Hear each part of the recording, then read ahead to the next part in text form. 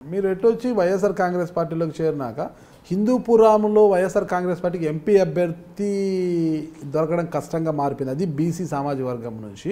ఎవరూ లేకపోవడంతో రంగయ్య గారిని హిందూపురంకి అకామిడేట్ చేయాలనే ఉద్దేశంతో పార్టీ ఉన్నట్లు కూడా ఇక్కడ స్పష్టమైన సంకేతాలు ఉన్నాయి.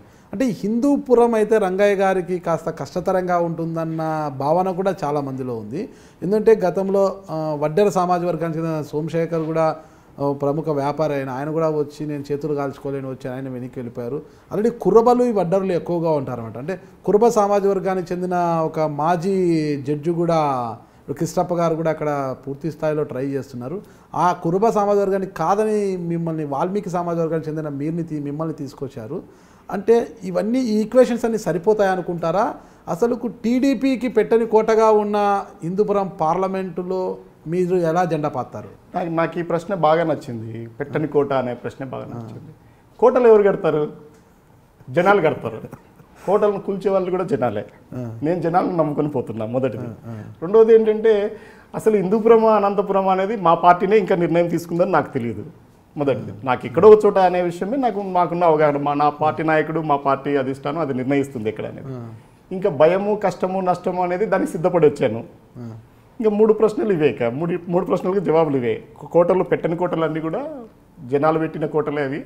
మళ్ళీ జనాలే కూల్చుతారు వాళ్ళకి వాళ్ళ హిందూపురంలో అభ్యర్థి లేడు కాబట్టి బీసీ సమాజ వర్గానికి చెందిన మిమ్మల్ని అక్కడికి అకామిడేట్ చేస్తే అసలు పరిస్థితి ఏంటి చెప్పండి? మొదటి నుంచి కూడా నేను ఎప్పుడు ఎలా చూస్తుంటానంటే మనకంటే సత్తా లేని వాళ్ళు కానీ మనకంటే తెలివి తక్కువ వాళ్ళు కానీ ఉంటారని మనం అనుకోకూడదు. మొదటిది ఏంటంటే నేను ఊర్లో కూడా గ్రూప్ వన్ నేను ఒక్కడే వచ్చినానంటే ఆ ఊర్లో గ్రూప్ వన్ వచ్చే మేధావస్తులు లేరని కాదు. నేను రైతు కుటుంబం నుంచి వచ్చాను కాబట్టి నేను చెప్తాను. అదును పదును చూసేటోని నేను. సరైన సమయానికి సమయ నిర్ణయం తీసుకున్నాను కాబట్టి నేను ఇక్కడికి వచ్చి కూర్చోగలిగాను అంతే. అంతేగాని అక్కడ బీసీ అభ్యర్థులు తయారవుతారు.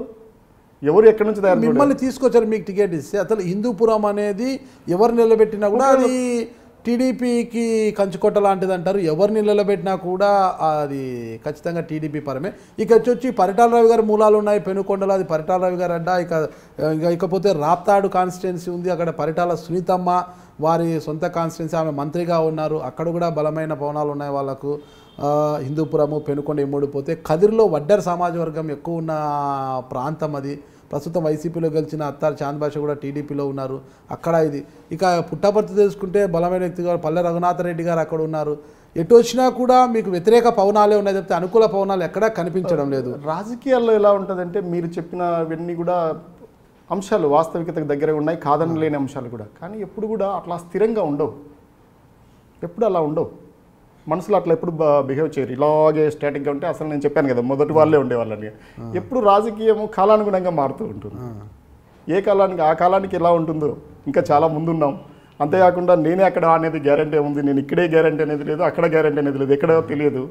పార్టీ ఎక్కడైనా కూడా పార్టీకి రెండు వైపులా ధీటైన సమాధానం చెప్పడానికి మేము తయారవుతాం కలుపుకుంటాం జనాలు.